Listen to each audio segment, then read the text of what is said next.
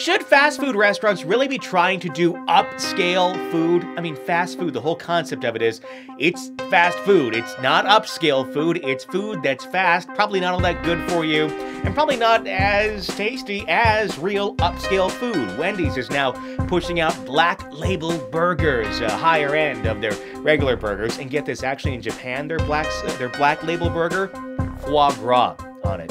I love foie gras. I cannot imagine what the fast food version of foie gras is. But, uh, you know, maybe I'll have to go to Japan and find out. Should they be actually going down this road? McDonald's did it last year. They had some higher end burgers. They're all kind of doing their version of the high end fast food, burger, whatever it is. Should they be doing it or should, should they just stick to what they do best?